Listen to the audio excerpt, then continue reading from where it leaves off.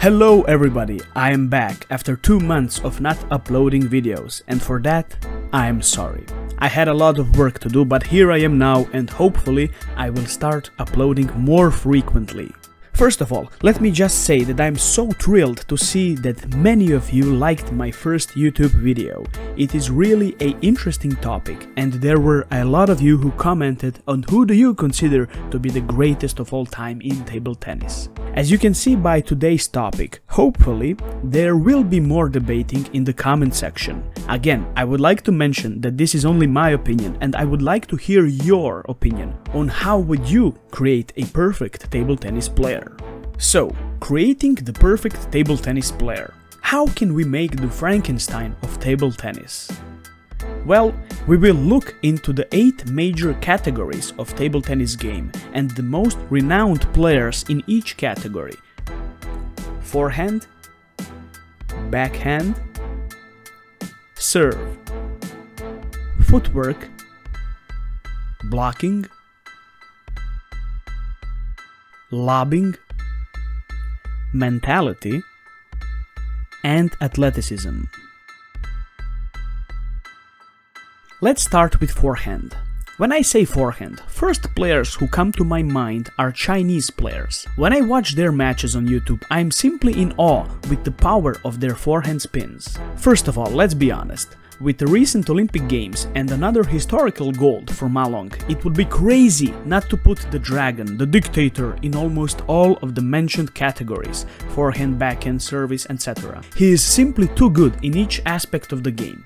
But there are other players who are known to be lethal in some of these 8 aspects we will cover today. So, for the forehand category, I would give honorary mention to Wang Liqin and Fan Zhendong, for they are both great forehand players.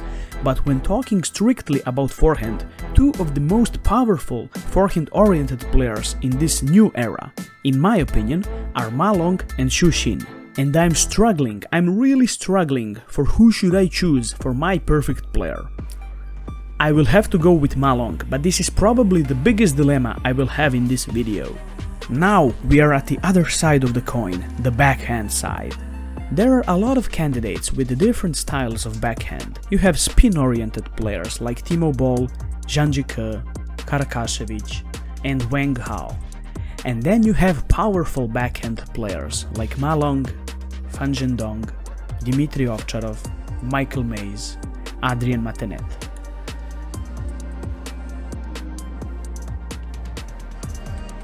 But then, you have this beast from Greece whose name is Kalinikos Kreanga, who is a mixture of both.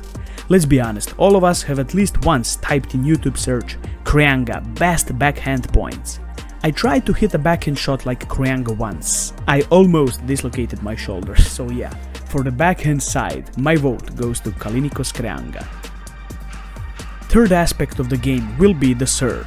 Now, throughout the history, there had been many players who had great serves. A lot of players back in the day benefited from hiding their serves. Ever since 2002, rules about the serve changed. Contact with the ball when serving must be visible to your opponent, so this aspect of the game will be tricky to decide. If we look at the old school players like Waldner and Liu Guoliang, they were some of the best masters of the hidden serve. But for modern rules, honorary mentions are Wang Hao, Timo Boll, He Zhiwen, Pargerel, Shang Kun and Dmitry Ovtcharov. Now, in my opinion, the big debate is between Ma Lin and Werner Schlager. Ma Lin had crazy rotation when serving, while Schlager had over 50 serves in his pocket. Werner Schlager's serving has been admired and praised by the likes of Liu Guoliang. In an interview, after being asked about how he creates his serves, he responded, I dream about them. Between these two, I will have to go with Schlager. He was never really known for good footwork, but he still managed to win world championship and to become a world number one with heavily relying on service and third ball attack.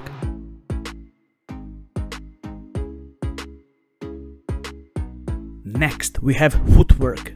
Up until now, opinions will probably be divided in the comment section. But for footwork, I assume we will all choose the same guy. the penhold legend Ryu Seung Min. Ryu could position himself for his forehand in almost every occasion, especially earlier in his career when he was physically prepared 100%. His 2004 Olympic Games run shows why I am choosing him. Honorary mentions are Zhang Jike, Ma Long, Koji Matsushita, and Joo Se-hyuk. Now, we arrive at the mentality aspect of the game. How can we define the mentality aspect of the game? Being clutch, or should I say being cool-headed, means to be able to make a good decision in a blink of a moment, to be able to perform well in stressful situations. When you think of clutch players, who do you think of? For me, some of the players who had the clutch mentality are Kong Ling Hui, Ma Long, Zhang Jike, Michael Maze, Werner Schlager, Timo Boll, Wang Liqin. Now see, these players I mentioned all had some clutch moments in their respective careers. They had some incredible comebacks. But also, they had freezing and heated moments as well, where they allowed emotions to get the best of them. Zhang's barrier kicking, Timo Boll's Olympic troubles, earlier years of Ma Long where he kept losing to Wang Hao, even though nowadays Ma Long is incredibly mentally strong, probably the strongest on the tour. Let me just say, all of these players are some of the greatest of all time and they did have mentally strong game with ups and downs. But if I had to choose mentality for a perfect table tennis player, I would have to choose between Jan Ove Waldner and Vladimir Samsonov. Both of these legends managed to stay cool whether winning or losing at all time. Due to better career overall, I think I will have to choose Jan Ove Waldner, even though Samsonov has a great mentality as well. So, my vote for mentality aspect of the game goes to Jan Ove. Ah, blocking. Aspect of the game that makes you cool if you are good at it. Being able to control the game using block is really difficult and even more nowadays with the plastic balls. I have 4 candidates and 2 of them are from the mentality aspect as well. Jan Ove Waldner and Vladimir Samsonov. The third candidate for blocking is Koki Niwa. Koki is probably the pioneer of the chop block. Lots of table tennis fans agree that Koki Niwa has one of the best feels for the game in the world. The fourth candidate is Oh Sang-eun, key player from South Korea's national team back in 2000s. Now, how should I decide on who to pick for blocking between these four players? Let's look at it this way.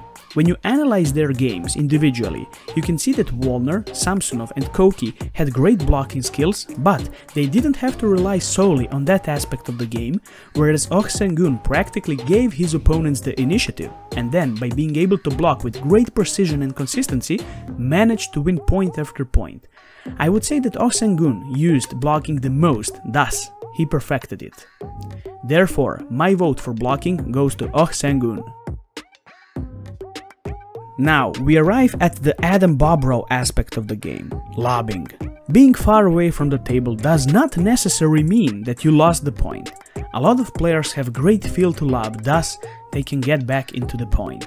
First players who come to my mind when it comes to lobbing are Vladimir Samsonov, Adrian Mattenet and Ma Lin. But, in my opinion, none of them managed to pull one of the greatest comebacks in table tennis history simply by lobbing their way out of the defeat like Michael Maze did back at the World Championships in 2005 against Hao Shuai. I will talk more about table tennis comebacks another time, so for lobbing I am choosing Michael Maze.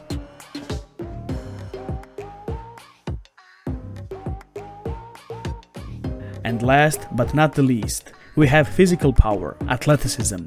In my opinion, the most physically prepared table tennis player is, drum rolls please, Wang Liqin. He is 185 centimeters tall, and when you combine that height with crazy amount of hours spent in the gym, you get this physical phenomenon called Wang Liqin. I guess that players across the table used to get a little demotivated when playing him simply because of his physical attributes. I would love to ask someone who played him, was it a little bit frightening or not? So, there you have it table tennis fans, this was my attempt to create a perfect table tennis player. Forehand, Ma Long. Backhand, Kreanga. Serve, Werner Schlager. Footwork, Ryu Seung Min. Mentality, Jan Ove Waldner. Blocking, Oh Sang-eun. lobbing, Michael Maze, and athleticism, Wang Liqin. I would like to hear your combination of players for a perfect player in the comment section. If you like this video, feel free to give it a like and to subscribe. I will try to upload more frequently, at least once every few weeks. I feel really motivated now that I know that you like these types of videos. Thank you all and see you soon.